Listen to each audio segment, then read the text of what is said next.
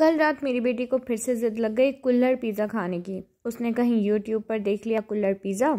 अब ना तो मेरे पास था कुल्लड़ और ना ही था मेरे पास पिज़्ज़ा बेस। करती तो क्या करती?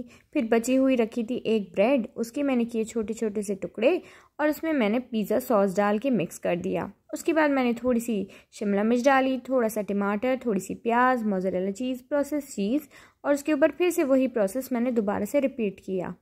और इसके ऊपर फिर मैंने थोड़ा सा चिली फ्लेक्स डाली, क्योंकि बच्ची थी, ज़्यादा स्पाइसी नहीं खाएगी। और थोड़ा सा मैंने यहाँ पर औरिगैनो डाल दिया। उसके बाद मैंने इसको तीस सेकेंड के लिए माइक्रोवेव कर लिया, ताकि इसकी चीज़ मेल्ट हो जाए। और उसके बाद हम सबने इसको बहुत खाया। इतना मज़ा आया, इतना मज़ा आया कि बाहर का पिज़्ज़ा कुल्हड़ पिज़्ज़ा नॉर्मल पिज़्ज़ा हम सब भूल गए। और हमें इतना टेस्टी लगा कि मेरे हस्बैंड के लिए तो बचा ही नहीं।